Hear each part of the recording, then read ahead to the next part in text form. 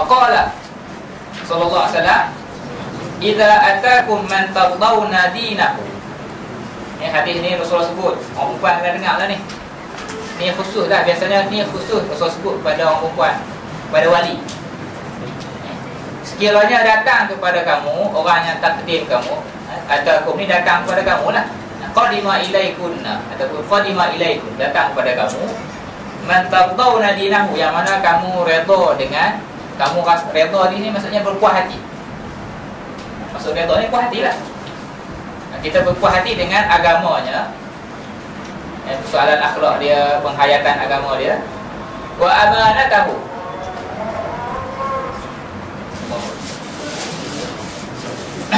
Waqala sallallahu alaihi wa alihi wasallam Idza atakum man tardawna dinahu wa amanatahu Kemudian kita redha pula, kita puas hati, kita tengok dan kita kenal dan kita cek Kita tanya orang yang boleh percaya, tengok agak dari segi amanah dia Dia memang orang amanah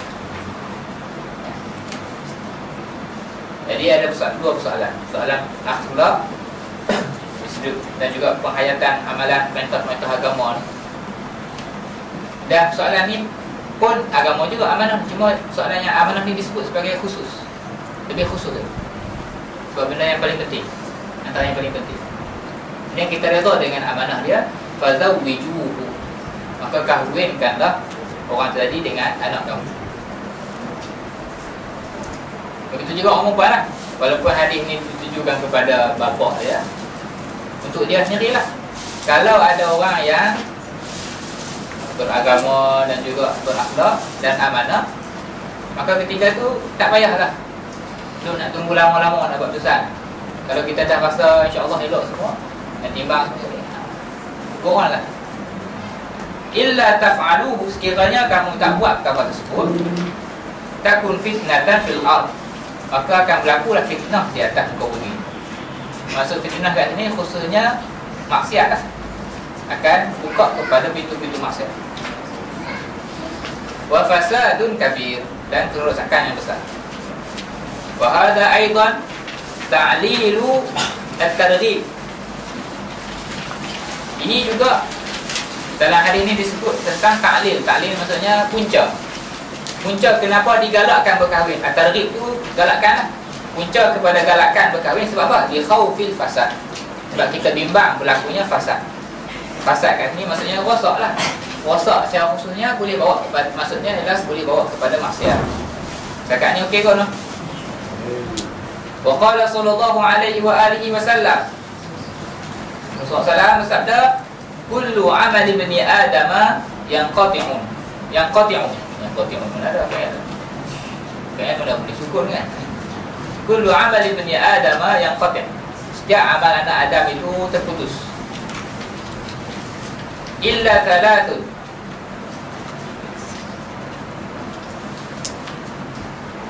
Melainkan tiga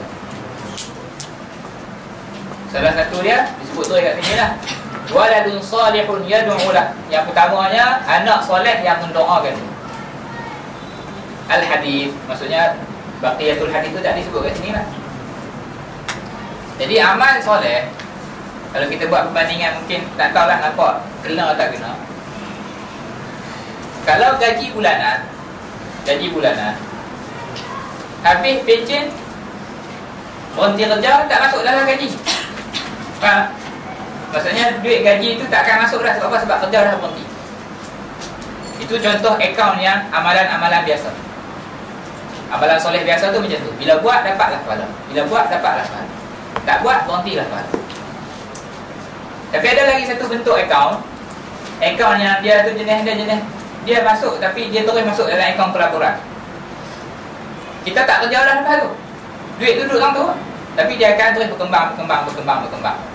Ha, ini satu contoh dari kategori amal. Ganjaran terhadap amal. Jadi amal-amal soleh ni ini sebagai tamsil lah, contoh mudah nak bagi faham. Ada yang bentuk yang bila buat dapatlah pahala. Tapi ada lagi satu kategori amal yang bila kita buat sekali, pahala dia akan terus terusan. Sebagai contoh yang kita bisa tengok dalam hadis disebut ar-riba. Riba ni maksudnya jaga sempadan. Jaga sempadan tu walaupun kita buat sekali, tapi dia punya pahala tu keterusan akan meningkat, meningkat, meningkat, meningkat walaupun kita dah bagi. Itu fadilat Jaga sempadan Macam itulah juga ini Ini maksud apa? Maksud amal mutawasil ni Fadilat dia, pahala dia berterusan ni Salah satunya apa? Waladun salihun yadu'u laku Dengan ada anak salih tadi tu Dah cukup dah Untuk menyebabkan Mak dan bapak ni Dapat pahala yang berterusan Walaupun dah meninggal Besar tu. Jadi sahabat-sahabat ni ingat? Salah satu peranan sebagai anak ni kena sentiasa doakan mak dan bapak walaupun mak dan bapak kita dah tak ada tapi pahala tu akan sampai. Terusan dengan amal soleh kita dengan doa kita.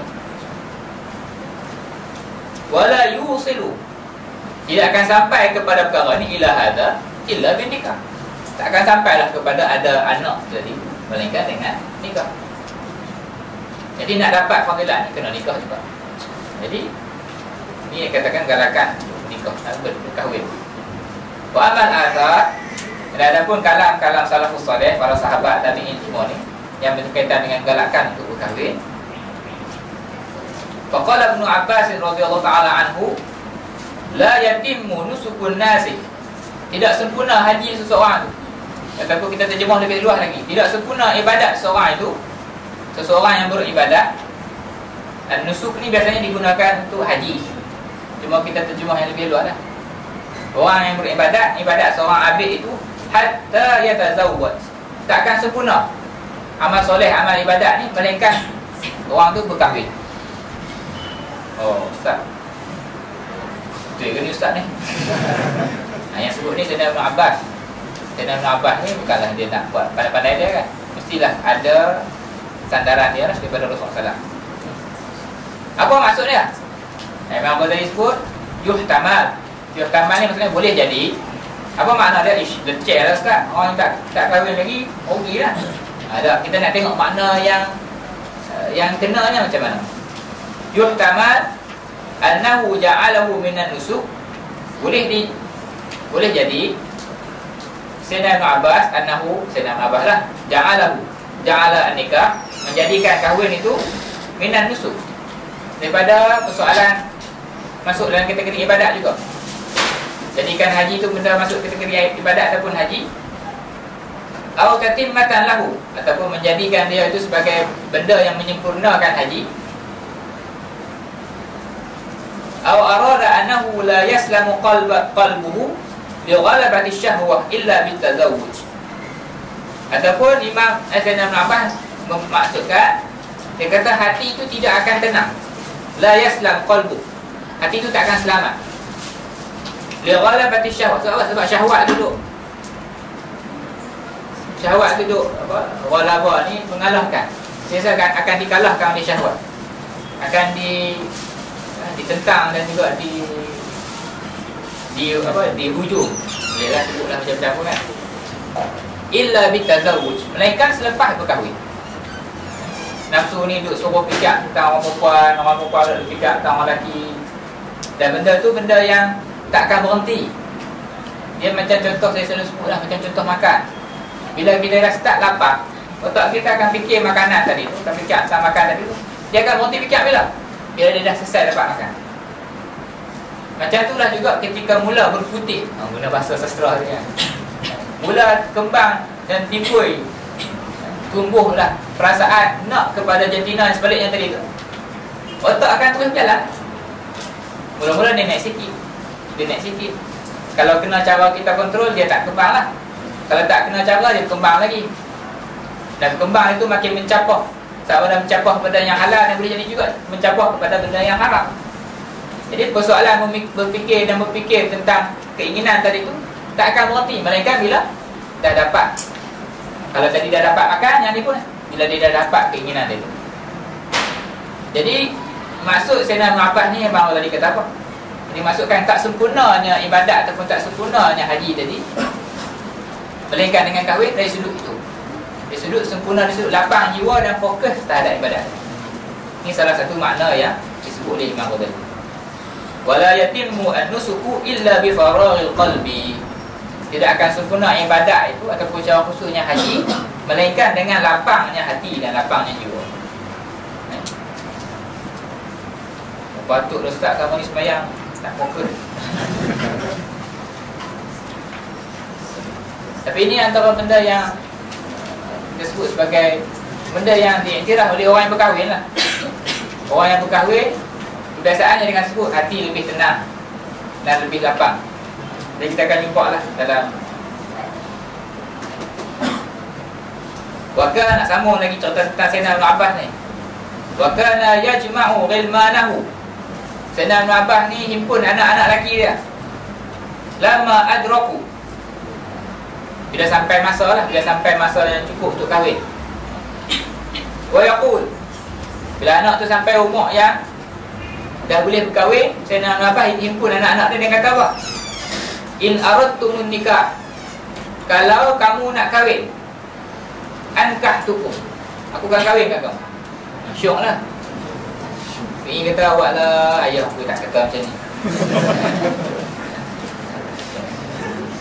Suka awak lah. Siap-siap kat sini. Syok. Ni saya nak Abbas ni Bila sampai level Anak tu dah boleh berkahwin Maksudnya akil balik Kemudian dah matang Bukan nak kata Syafi'i tak matang lagi Sebab tu dia tak kata macam tu kan Matang tak Bagilah signal kat ayah Wa kana yajma'u ghilmanahu lamma adraku wa yaqul wa in aradtum an nikah ankahtukum. Kalau kamu nak kahwin aku akan kahwin kata. Fa innal 'abda ini penting ni ayat lah. Sesungguhnya seseorang manusia itu Iza zana Wala'ayazbillah Sekiranya dia terlibat dengan benda haram Yang nama dia zina Nuzi'al imanu min qalbi. Akan dicabutlah kemanisan iman daripada hati. Sekali itu jerumus buat benda yang maksiat yang besar tadi. Kesan dia atau kesan buruk dia Dia akan Masuk nuzi'al ni dicabut. Dicabut iman tu bukanlah masuk kufur Benda faham lah Maksudnya dia memberi kesan yang sangat buruk di situ Kalau kita buat bandingan kita kesan dosa ni macam dengan hitam hati tu kita sebut benda susu yang putih. Dia bukan setakat kesan setitik dah. Dia kesan dia sebagi tu. Kita tuang ayat hitam dia tuang macam tu lah maksud dia maksudnya buruk besarnya kesan zina Walang yang bila ta'ala Sebab tu bila sampai anak tu umur yang Dah sampai level yang Dia memang perlu kepada kahwin tadi. Kalau mak bapak dan juga wali jenis yang mampu Kena bantu Tujuan apa? Tujuan untuk elak daripada maksiat-maksiat yang berat dan besar